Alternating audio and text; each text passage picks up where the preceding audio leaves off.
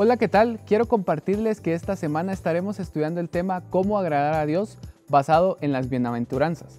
Este tema forma parte de nuestra nueva serie Se Busca, así que no te lo puedes perder. Te esperamos.